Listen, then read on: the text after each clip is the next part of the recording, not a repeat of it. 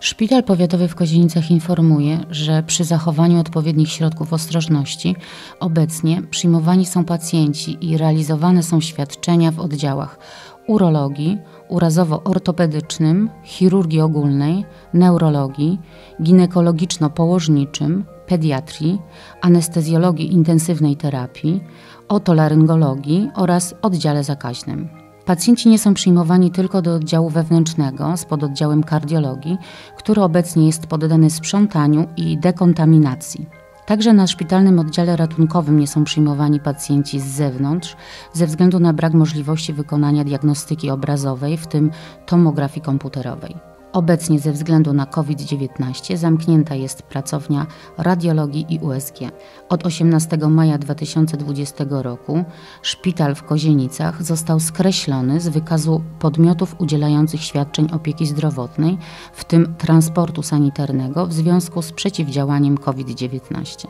Pacjenci z podejrzeniem zakażenia koronawirusem są kierowani do izby przyjęć oddziału zakaźnego, gdzie po zbadaniu mogą mieć pobrany materiał biologiczny w kierunku zakażenia koronawirusem lub nie.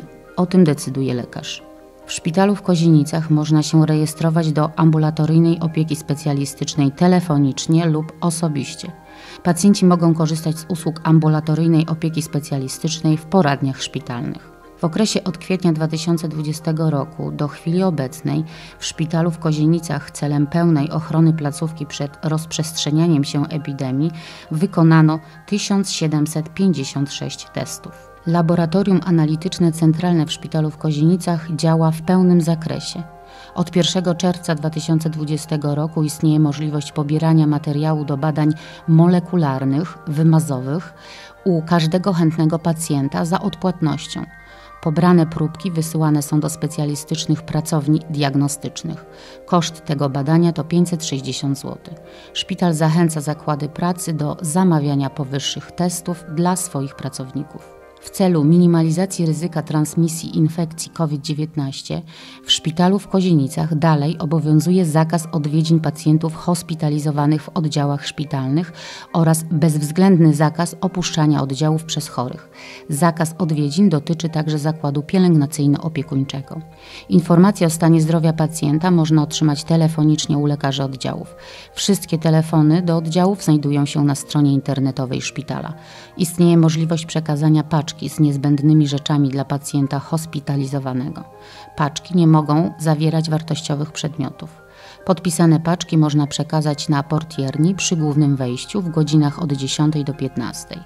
Paczka po zawiadomieniu telefonicznym jest odbierana przez pracownika oddziału lub zakładu pielęgnacyjno-opiekuńczego, w którym przebywa dany pacjent.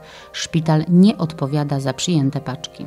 W szpitalu w Kozienicach pracuje ogółem 497 pracowników medycznych. 87 pracowników jest nieobecnych w pracy z powodu izolacji, kwarantanny czy zwolnień lekarskich. Stan epidemii to bardzo trudny okres dla szpitala w Kozienicach, także pod kątem finansowym. W stosunku do lat ubiegłych ceny sprzętu medycznego oraz środków ochrony biologicznej wzrosły trzy, a czasem czterokrotnie. Wydatki szpitala w Kozienicach na środki zabezpieczające w dobie epidemii opiewają już blisko na 2 miliony złotych. Ogromne trudności sprawiają także opóźnienia w dostawach, zawieszanie bieżących umów przetargowych przez dostawców czy brak ofert w ogłoszonych przetargach.